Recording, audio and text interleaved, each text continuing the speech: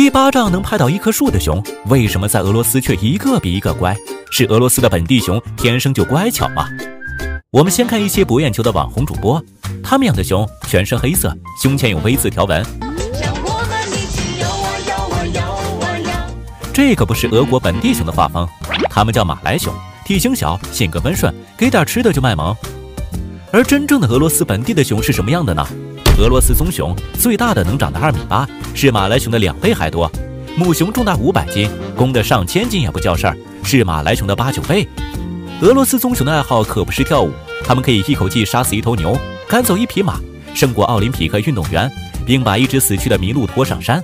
壮实的前臂，十五厘米长的指甲，一巴掌能拍断一棵树。要是拍在人身上，效果可想而知。所以，俄罗斯本地熊绝对不是善茬。你想拿它当宠物，它想拿你当食物，没点真本事，养棕熊那是门儿也没有。俄罗斯人是怎么抓到棕熊，做到家家养熊的呢？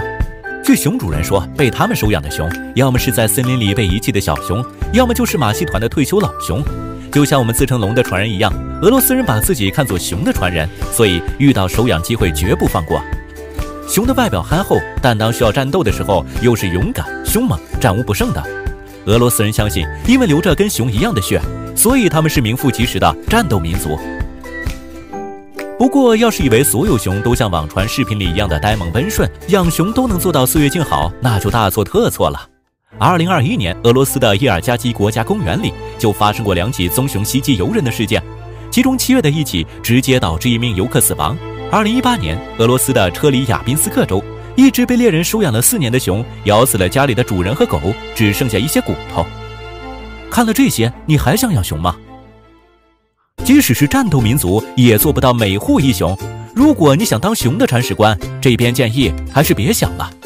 原因有三：首先，熊毕竟是猛兽，万一发起火来，连俄罗斯老哥都扛不住。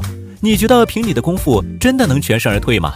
就算不来真的，平时跟你打打闹闹，小拳拳轻捶你的胸口，你也受不了啊。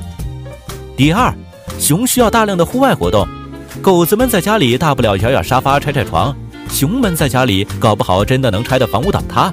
你家里要是没有几个山头，还真不够它跑的。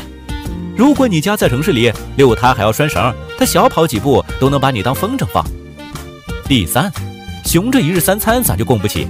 它吃东西倒是不挑，肉、坚果。水果、土豆、萝卜，什么都行。但一只中等体重的熊每天就能吃掉五十斤的食物，你一个月的食物只能养活它一天。拍拍自己的钱包，还想养熊吗？对了，即使你有钱有地，体格也好，你仍然不能养熊。连俄罗斯从二零二零年起都禁止私人养熊了，而咱们国家熊是二级保护动物，你今天把熊抓，明天警察叔叔就要请你喝茶了。感谢收看 X 情报社，点个关注，这样就不会错过更多的精彩视频。咱们下期再见。